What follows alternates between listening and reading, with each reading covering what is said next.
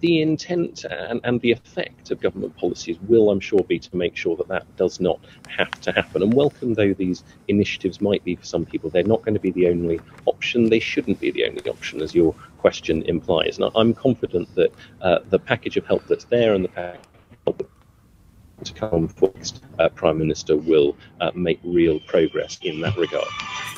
Finally, if I if we can, yes, finally, if I can get a word from you, you're probably aware in your brief as culture and media that festivals are very much on your watch. Of course, a lot of people have had a wonderful time at Notting Hill and at Reading and at Leeds festivals, but we have to look at the fact that sadly a life has been lost at Notting Hill. Armed police have had to bring order at Reading and Leeds, and it would appear one young man in Leeds has lost his life due to drug taking.